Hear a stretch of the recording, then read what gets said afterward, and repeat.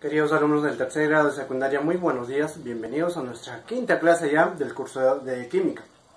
Bien, vamos a continuar hablando acerca de los tipos de átomos en este caso.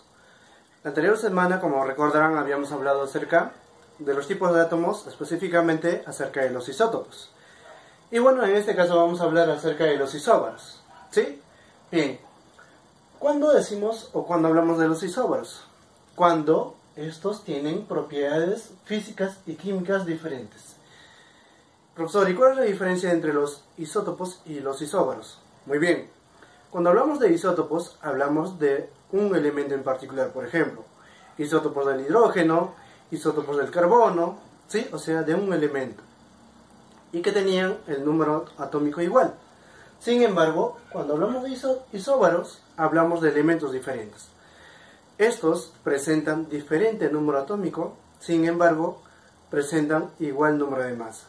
¿Sí? Bien, entonces son elementos diferentes. Poseen diferente número de neutrones porque son átomos diferentes. Ahora, presentan diferente número atómico. ¿Sí? Lo que les mencioné. Ahora, ¿cuál es lo particular acá? Presentan igual número de masa.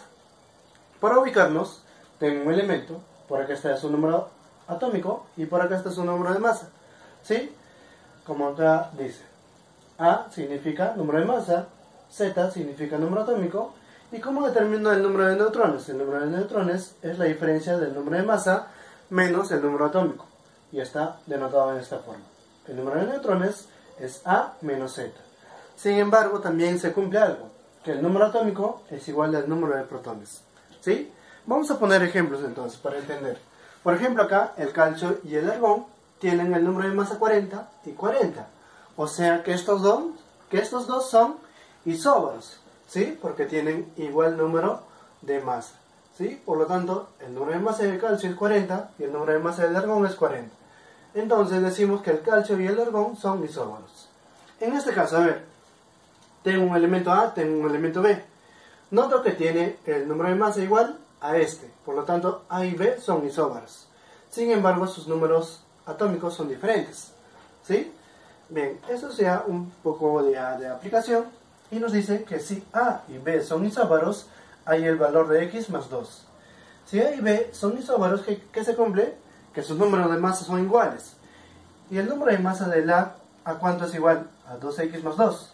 Y el número de masa de B es 20.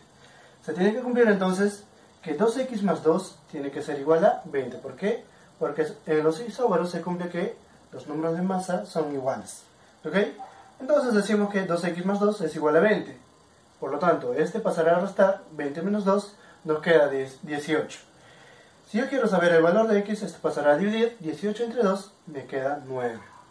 ¿Pero qué me piden? Hay el valor de x más 2. x más 2 es 11, por lo tanto, 9 más 2, 11. En esta parte tenemos una aplicación ya un poquito más compleja, sin embargo vamos a desarrollarlo también.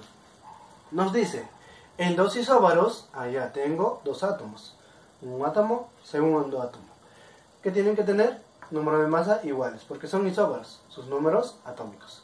¿Sí? En dos isóbaros la suma de sus neutrones es 16, allá, y la suma de sus protones es 10, determine su número de masa. Muy bien, ¿Cómo determino su número de neutrones o el número de neutrones de A? Será la diferencia del número de masa menos el número atómico. ¿Sí? El número de neutrones de B será número de masa menos su número atómico. Bien, sus protones de A será igual al número atómico de A. Sus protones de B será igual al número atómico de B. Muy bien, entonces solucionamos. Nos dice que el número de neutrones de A más el número de neutrones de B es 16. ¿Por qué? La suma de sus neutrones de estos dos isóbaros es igual a 16. Muy bien, pero yo sé que el número de neutrones de A es igual a número de masa menos su número atómico. Y está por acá. Igualmente para el elemento B, el número de masa menos el número atómico, que está por acá. Y esto es igual a 16. ¿Qué noto acá? Que tengo número de masa dos veces número de masa. ¿Sí? Por lo tanto me queda dos veces A menos saco para afuera, porque este tiene menos y este tiene menos, saco para afuera y me queda el Z1 más el Z2. Y todo esto es igual a 16. ¿Qué me doy cuenta? me doy cuenta que el número de protones de A más el número de protones de B era igual a número atómico de A más el número atómico de B. Pero ¿qué me decían? Que el número de protones o la suma de los protones de estos dos elementos era 10. ¿Sí? Entonces el número atómico de A más el número atómico de B es igual a 10.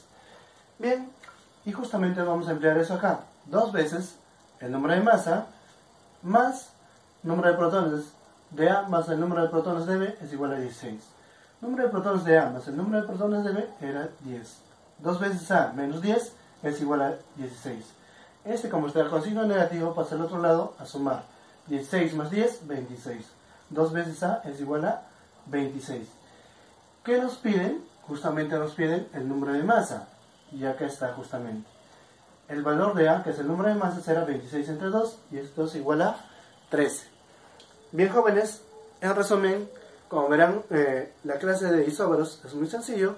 Espero que sigan avanzando con sus trabajos y bueno, nos vemos en la próxima clase.